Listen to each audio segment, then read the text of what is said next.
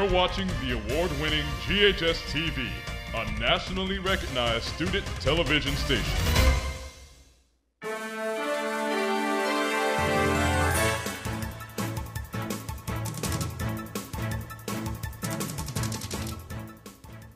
Welcome to Red Devil Newsbeat, your roundup of the day's top stories you need to know. I'm Brandon Sewell. With me is Maria Strickland, the Mid-South Beat anchor. Sports Beat anchor Colin Ewing will join us later in the show. But first, here's the news from around the world.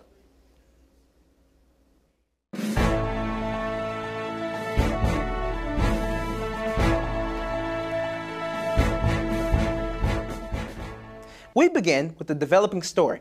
A settlement has been reached in the historic Fox Dominion defamation case. The judge made the announcement hours after the jury was seated for the trial. Details of the settlement haven't been released. Dominion Voting Systems had sued Fox News for $1.6 billion, arguing that during and after the 2020 election, Fox spread lies about its voting machines. Fox executives and TV hosts were expected to testify at the trial. Fox isn't out of the woods yet. Smartmatic, another voting machine company, is suing the network for $2.7 billion in a separate defamation lawsuit. YouTube is changing how it deals with content related to eating disorders. The company announced it's banning content featuring behaviors that include extreme calorie counting or purging after eating. For recovery-focused videos, YouTube will allow the content with restrictions.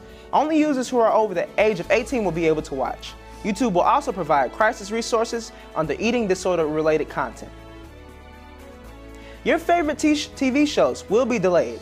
Hollywood is looking for is looking at another writer's strike. Writers Guild of America voters passed a strike authorization vote with nearly 98% voting in favor. The union is seeking increased pay and minimum staffing requirements for TV shows. Their last walkout in 2007 and 2008 lasted 100 days and shut down most Hollywood productions. The Writers Guild's current contract ends May 1st. Now, here's the Mid South Beat.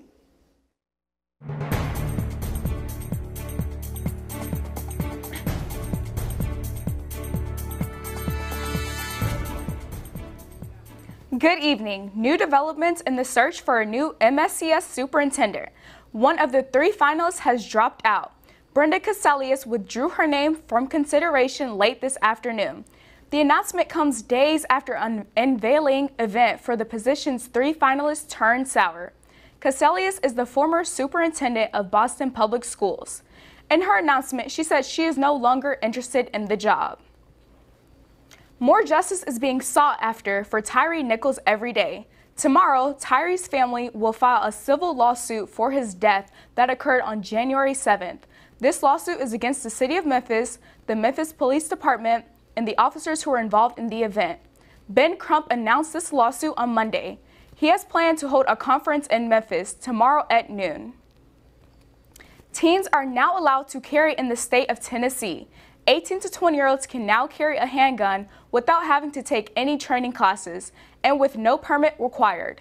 When Tennessee passed the permitless carry law in 2021, it applied only to those 21 and up or retired military age 18 and up. A California gun rights group sued to allow 18 to 20 year olds. Opponents say they are against the idea of teenagers carrying firearms without the proper certification. Memphis Animal Services is getting its adoptable senior pets ready for prom.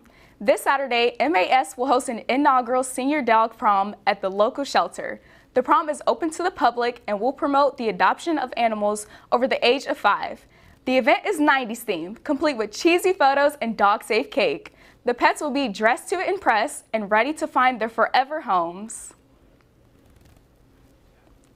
We all love our families, but can you imagine working with them every day? That's the case for Dr. Camille Collins, her daughter Hope Henniger, and her husband Paul Henniger. Recognize the names? They're all teachers here at GHS. Student reporter Bailey Lopez talked with all three about what it means to be a literal GHS family. So today we're going to switch from demand into supply. So the ideal teacher I think would be when they invest in you and you know when a teacher can push you to do things that you haven't done before. Just put a lot of trust in you. When I got out of college, I graduated with a bachelor's of accountancy, and I wasn't sure what I wanted to do. And I began to think, after 27 years, what does this place mean to me? Not only is this a place where I work, but it's also a place for my own family. If you don't love this place, you'd be gone. Uh, you know, that's a, it's a family that's dedicated their lives uh, to this school, to the kids here at this school. A lot of people say that moniker that, you know, here we're a family, but to the Collins family, they mean it. Uh, and I think that's a big reason why they've stayed here. I've looked back for the last couple of years. Uh, my son Ashton Collins uh, came to teach math. My uh, husband came to teach criminal justice after he retired from the police department.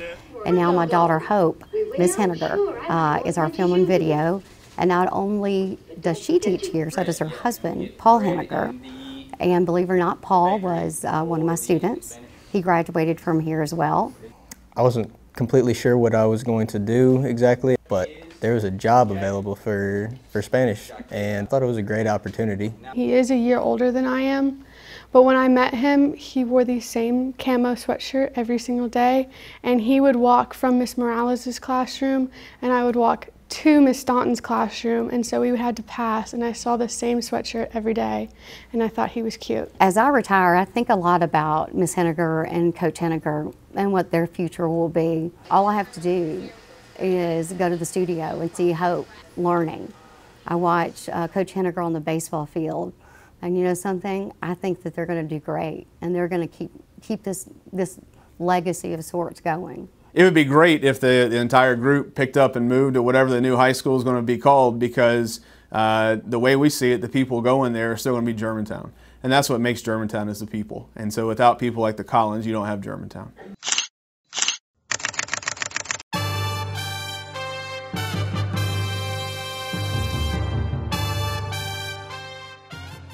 Good evening, GHS. Damar Hamlin could be back on the field soon. The pro football player has been cleared to play by doctors. You may, you may remember back on January 2nd, the 25-year-old went into cardiac arrest after making a tackle in a game against the Cincinnati Bengals. Doctors and trainers administered CPR and used a defibrillator on the field to resuscitate Hamlin. Before, he was taken out of the stadium in an ambulance. He has been participating in voluntary off-season workouts this week. Bills head coach Sean McDermott says the team is happy Hamlin is back. The trial of eight healthcare workers charged in the death of football legend will move forward. Argentina's justice system is trying to determine whether medical malpractice took place in the death of legendary footballer Diego Maradona. An appeals court confirmed today that the eight healthcare workers charged with homicide will go to trial.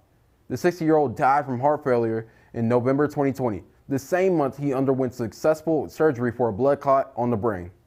Memphis Grizzlies power forward has become the second youngest defensive player of the year. Jaren Jackson Jr. beat out Brook Lopez and Evan Mobley for the award, getting 56 out of 100 first place votes. He averaged three blocks per game, anchoring the NBA's third ranked defense and helping the Grizzlies secure the second seed.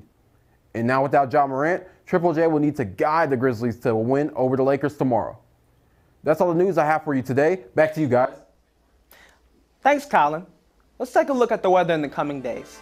Tonight is expected to be windy with clear skies and a low of 56.